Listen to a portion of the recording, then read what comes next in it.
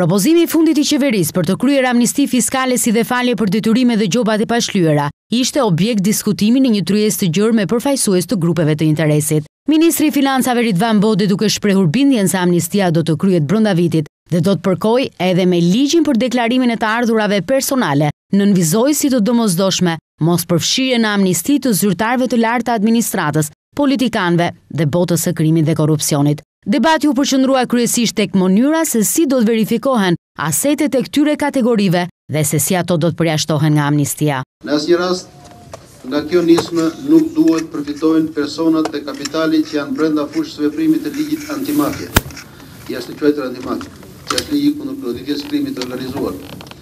dhe trafiqeve, dhe, ose objekt i konventës për pastrimin, kërkimin, ngrirjen e sekuestrimin e aseteve nga krimi i datës tetë nëntor një mijë e nëntëqind e nëntëdhjetë. Së dyti, nga ky ligj nuk duhet përfshihen, nuk duhet përfitojnë, Nuk duhet të përfshihen nën veprimin e tij pasuritë e personave që kanë një pozicion zyrtar dhe që bartin detyrimin për të deklaruar pasuritë e tyre në organet e autorizuara të shtetit. Unë e mirëkuptoj shqetësimin që amnistia fiskale mund të krijojë një shans për një lloj qarkullimi edhe të pasurive të krijuara nga krime të disa llojeve.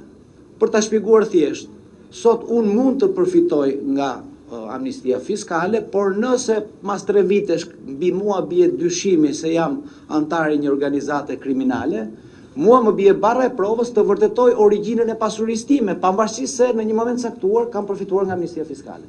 Domethënë gjërat janë të ndara dhe them që s'ka nevojë shumë për edhe për përjashtime dhe për ta komplikuar tekstin ligjor të amnistisë. Pra amnistia do të funksionojë pa ndonjë verifikim fillestar të aseteve dhe rrugëve se si ato janë përfituar. Ajo do të pushojë së ekzistuari, vetëm nëse dikush që rezulton më vonë, i lidhur me botën e krimit, do t'i sekuestrohet pasuria që tashmë do ta ketë legalizuar nga amnistia. Në tryezë u propozua edhe amnistia në industrinë e ndërtimit, pasi siç u shpreh kryetari i Shoqatës së Ndërtuesve për Tiranën, janë rreth një mijë objekte të paregjistruara në zyrën e regjistrimit të pasurive të paluajtshme, që llogaritet një kolateral i pavlefshëm për kredi bankare. Unë ju jap fjalën që kjo nuk mund të jetë pjesë e këtij ligji, por do të jetë pjesë e një ligji tërësisht të veçantë dhe do ftoja shoqatën e ndërtuesve, bizneset e çfarë organizime kanë bizneset e ndërtimit që të formulojnë propozimin e tyre për t'ia prezantuar pastaj në Qeveri dhe për të ndërmarrë një nismë e cila do të ishte tërësisht e favorshme për të zgjidhur. Debate në tryezë pati edhe për taksën që bizneset do të paguajnë në procesin e amnistisë.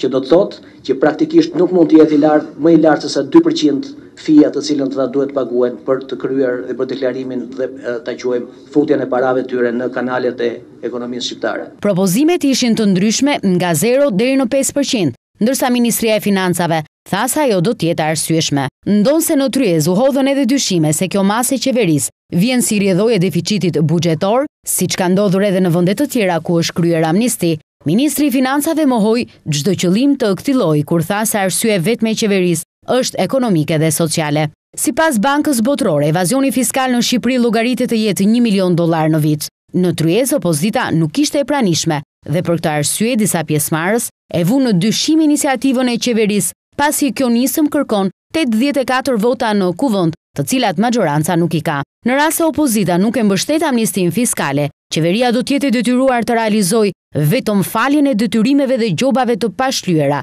që kërkojnë një shumicë të thjeshtë votash në Kuvend.